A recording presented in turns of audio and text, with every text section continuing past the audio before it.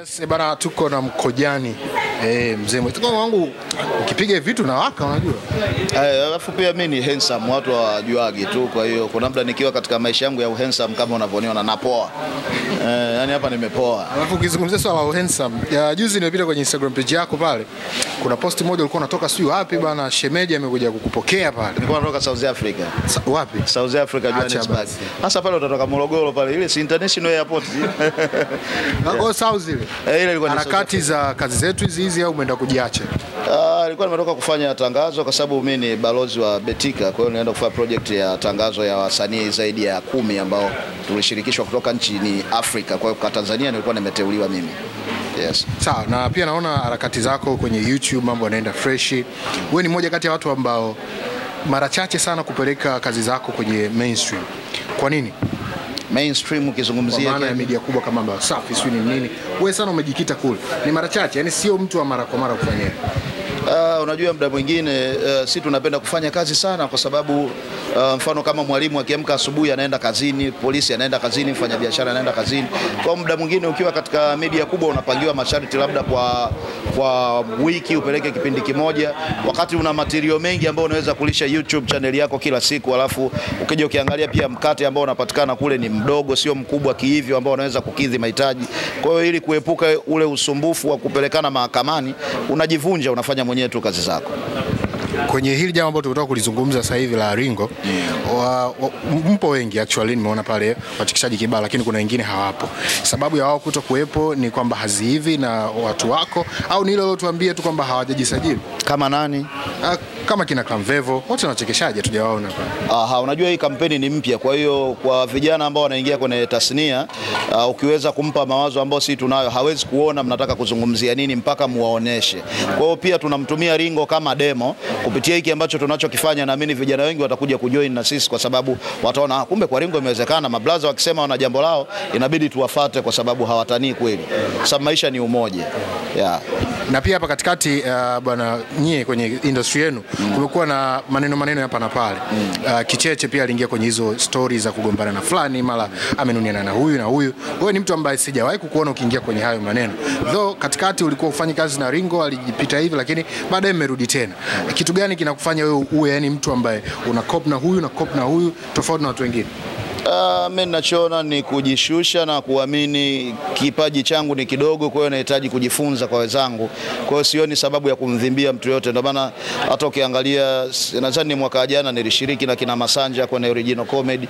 Kwa mimi ni mtu wa kujifunza tu, mimi mtu akinihitaji naangalia maslahi yangu kama yanakidhi nafanya, na mimi ninapomhitaji yeye anaangalia maslahi yake na mimi naangalia bajeti yangu na kidhi. Mimi mtu yoyote nafanya naye kazi, ili mradi tu tufikie muafaka, wala sina sababu ya kumdhimbia mtu.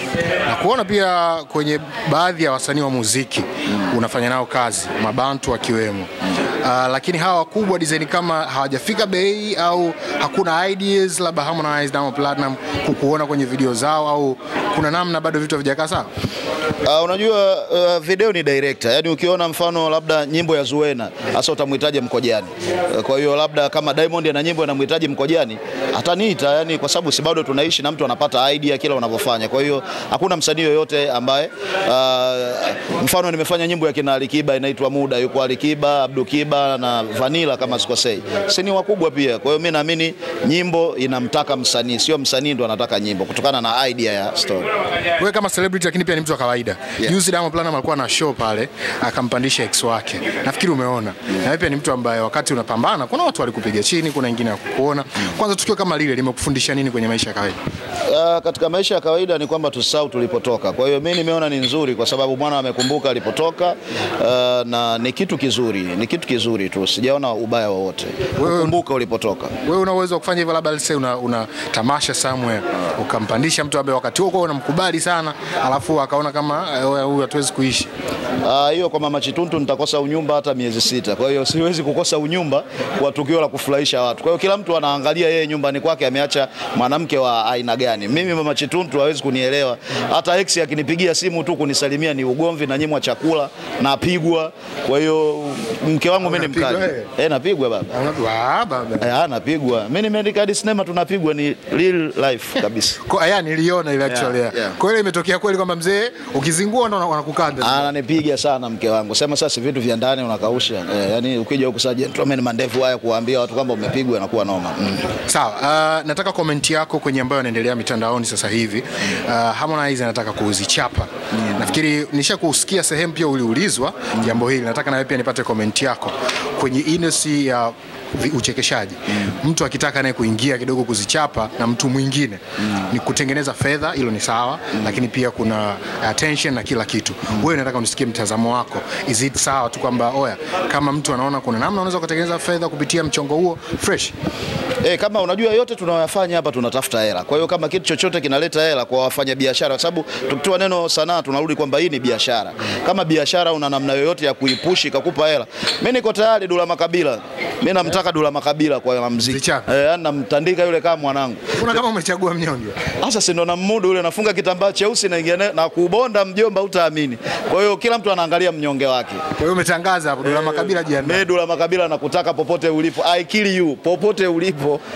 Kwa hiyo vitu kama hivi. Hizi ni biashara na ni vizuri. Unaona mitandao inakuwa busy na nyewe watu wa content mnapata cha kufanya. Kwa hiyo kuna muda lazima tuichangamshe industry. Hii sasa hivi inaitwa kuchangamsha industry. Umeona bwana. Kwa hiyo kusipoe, yani kunatakiwa kuchangamke ili tutengeneze hela. Eh. Sawa. Hawa wawili sasa huku Harmonize kule Mwakinyo. Wewe unasimama na nani? Ah, sasa hapo kija Mwakinyo tunatoka wote Tanga stand up Harmonize napenda anachokifanya.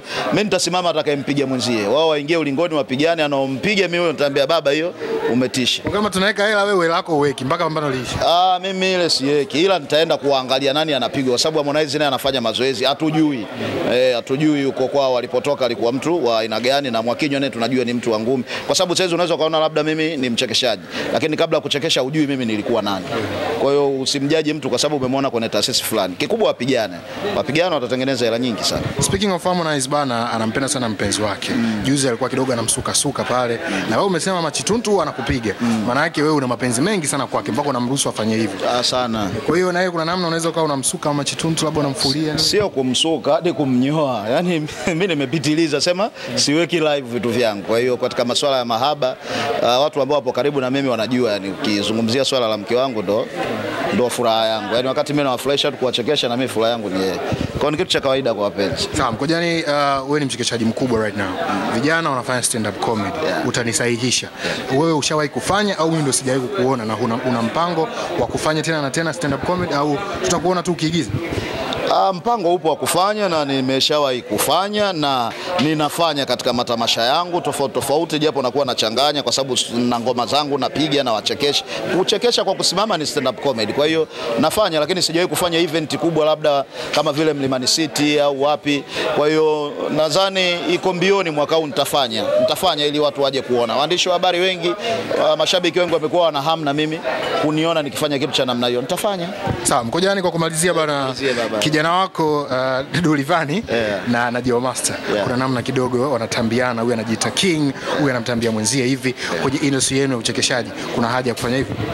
Ah, kwa biashara sasa hivi ilivyo ni nzuri, ndio hiyo tunasema wanachangamsha, ila isifikie katika hatua ya kuwa ni kushindwa kuzikana, kushindwa kusaidiana. Kama wanafanya for biashara imekaa kitu kizuri, lakini kama watakuwa na namna nyingine ya kugombana, hata dini haipendi watu wagombane, serikali haipendi watu wagombane. Sasa mimi nitakuwa nani niseme nzuri wagombane? Lakini kama ni biashara yao ni nzuri, na nitakaa naye nitamuuliza mdogo wangu, ni biashara au ni ugomvi kweli? Kama ni ugomvi kweli, basi kupitia mimi nimewazidi umri, nitakaa nao chini niwaambie wadogo zangu katika comedy sisi misingi ambayo tumeirithi kutoka kwa wazee wetu kina hayati Majuto na wengine kina mzee Small na wengine waliotangulia ambao wametufundisha hatukuwahi kuona kitu cha namna hii, kwa sababu kuna tamaduni za kila tasnia yeah. Na wewe kuna huo mpango, ukiona kama ni biashara ukajitamba ukamchukua kwako ukaanza kumrudisha chini?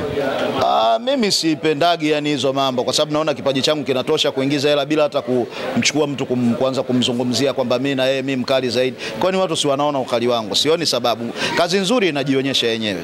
Yeah. Asante kwa muda wako, tukutane kwenye harusi yetu Yeah. na kadi tuletee watu tule ubwabwa. E, jamani, e bwana, oya jama, mio tarehe ishirini na nane mwezi wa sita katika shughuli ya Ringo. Yani tunamcheza mwenetu, unaingia na kibwaya ukumbini, alafu sasa unapa exclusive.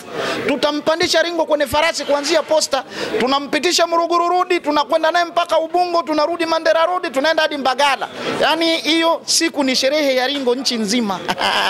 Ah, bwana, oya, ngojeni bindarushi tarabushi kifaru.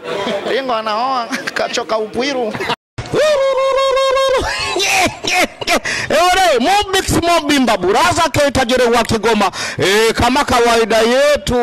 E, e bwana, mimi nakwambia hivi usi, usiseme kusema labda unasahau kusubscribe. E, kus, inaitwaje? E, kusubscribe. E, Bina TV yani ukifika pale ukiona Bina TV pale pale una sasa nani club. Unabonyeza kareka kengele ngaranganja. Tayari